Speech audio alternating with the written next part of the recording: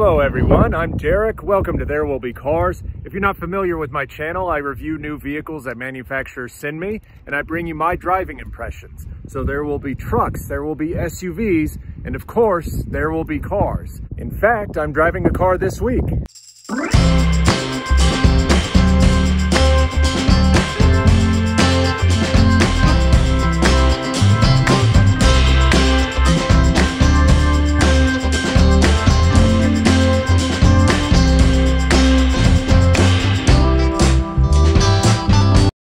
This is the all-new 2022 Toyota GR86. Aside from the all-new styling, which features these cool front vents that are actually cut through and functional.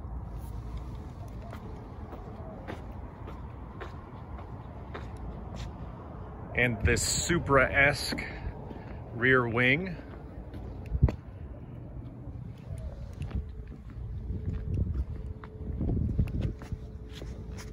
in this curvy back end with the slightly recessed dual exhaust outlets. I like that, they don't come out too far.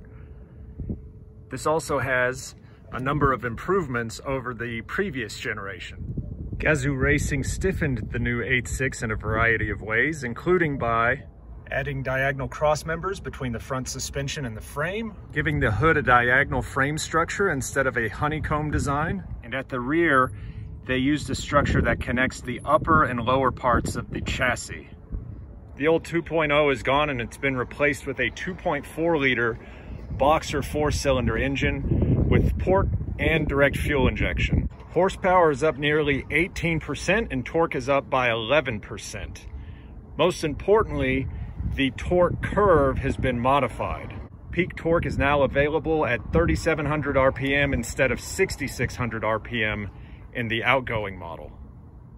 There are two trim levels available, the base, which starts at $27,700, and the premium model, which I have here.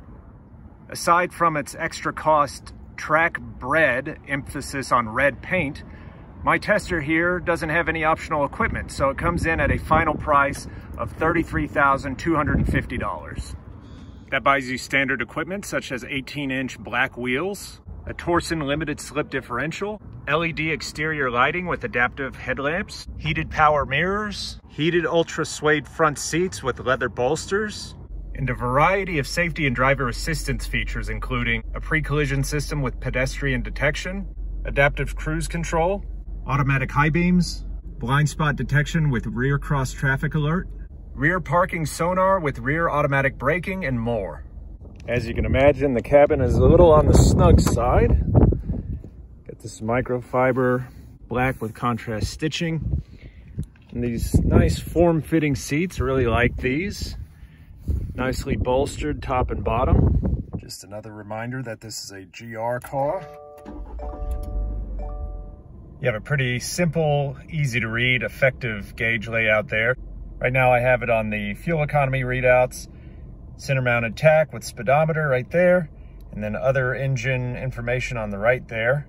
You can adjust the readouts using this control pad here. Go through the various options on the left. You have a nice large touch screen in the middle, but you do have physical volume and tuning knobs as well as hard buttons on the sides. The audio system has some surprises to it.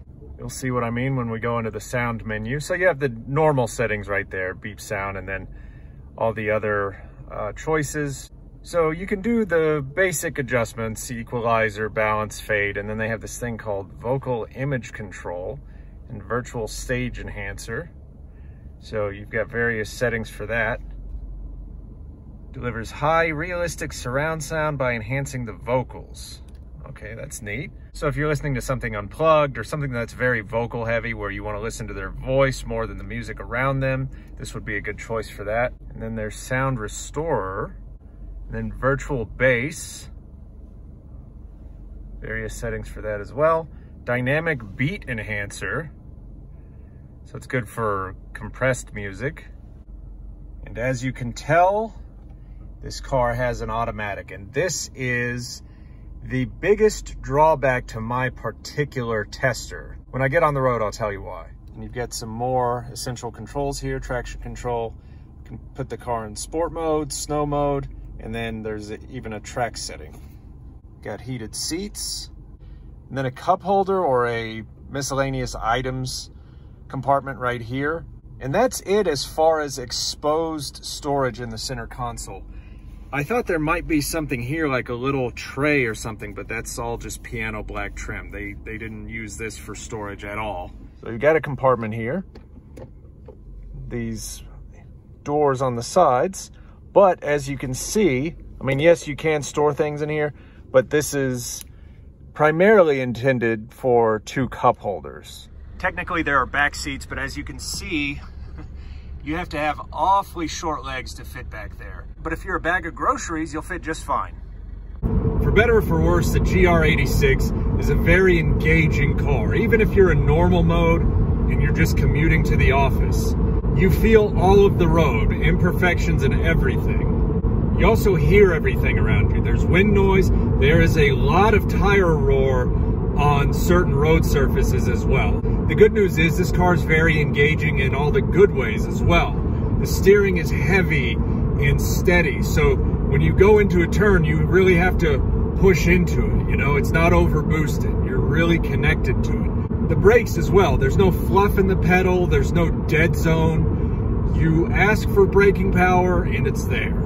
Then there's the handling in general. It's very dialed in, it's ratcheted down, it's taut.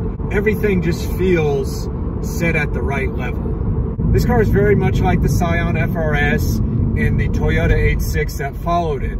This doesn't have the same impact those cars had on me, particularly the FRS. I think mainly because this same general feeling is not new to me anymore. I'm familiar with it from the FRS and from the first generation 86.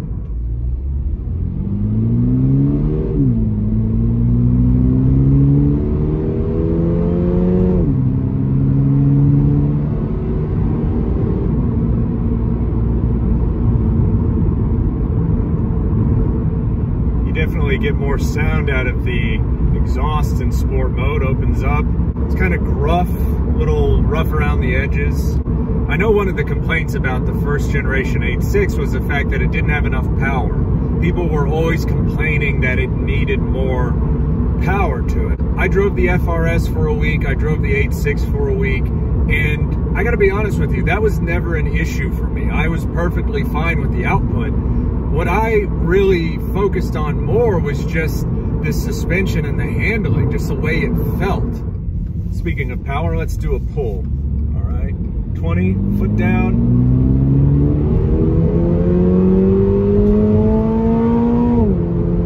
Definitely not scared to rev. On the overrun.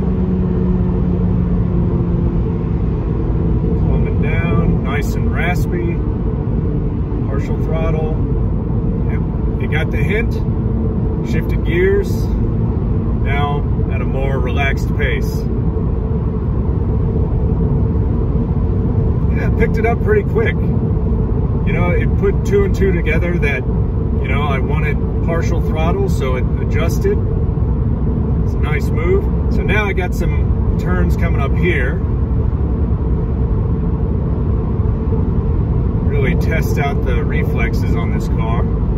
Because this car is so taut and sporty, it's not something that I would want to drive every day, but on curvy roads it would be perfect. It's in its element out here.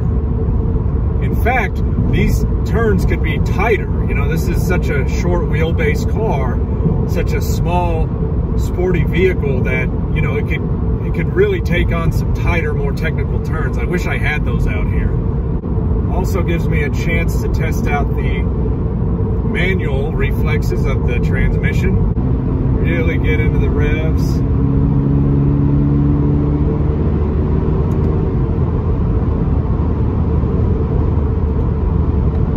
Brake before the entry. Yeah, I mean, you feel the bumps in the road wanting to deflect the front end a little bit. I mean, it is a small car, but I Love the steering feel. Substantial.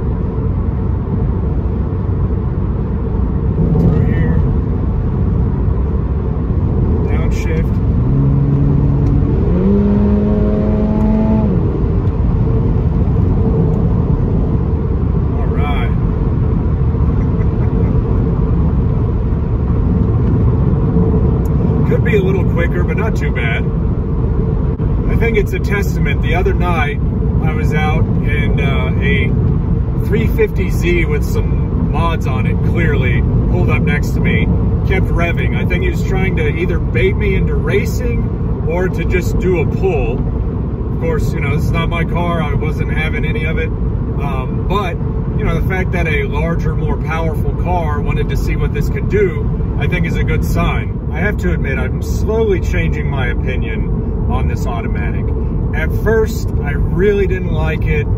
I felt it goes against the character of this car because this is a very elemental, engaging car. And even with the paddle shifters, the automatic is just not quite there. It's not exactly the same as a manual. You know, you don't have that interaction with the car through your hands and your feet and your ears, you know. That footwork is important, you know, it's fun, it's it connects you to the car more. And I've always enjoyed small displacement sporty cars with a manual transmission. It's just fun to rev the daylights out of them before you shift. Now you can rev the engine in this car high before you snap off a paddle shift, but yes, that it's just not quite the same. I'm just glad Toyota continues to offer this with the manual transmission. It is kind of a shame that a lot of performance cars don't have manual transmission options. Fortunately, the 86 does while the automatic is not my preferred way of changing gears in this car, it might not be yours, the good news is you don't have to pick it. Toyota makes this with a manual. Well, everyone, that's it for my review of the 2022 Toyota GR86. If you liked what you saw, please go ahead and click the like button below. If you're not a subscriber to There Will Be Cars already, please go ahead and become one. I enjoy bringing my reviews of cars to this channel and I hope you're here to see the next one.